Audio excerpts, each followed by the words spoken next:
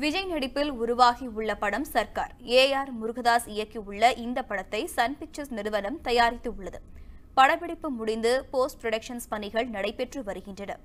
சமீபத்தில் பிரம்மாண்டமாக வெளியிட்ட படத்தில் பாடல்கள் ரசிகர்களிடையே வரவேற்பை பெற்றாலும் ஒரு சில நெகட்டிவ் விமர்சனங்களும் எழுந்துள்ளது. இந்த நிலையில் சர்க்கார் படத்தின் டீசரை வருகின்ற பத்தொன்பதாம் தேதி மாலை ஆறு மணிக்கு வெளியிட இருப்பதாக சன் பிக்சர்ஸ் நிறுவனம் தெரிவித்துள்ளது. இந்த படம் வருகிற தீபாவளி விடுமுறைக்கு ரிலீஸாக இருப்பது குறிப்பிடத்தக்கது. உண்மை செய்திகளை உங்கள் கண்முன் கொண்டு வரும் காவிரி நியூஸின் யூடியூப் சேனலை சப்ஸ்கிரைப் செய்யுங்கள்.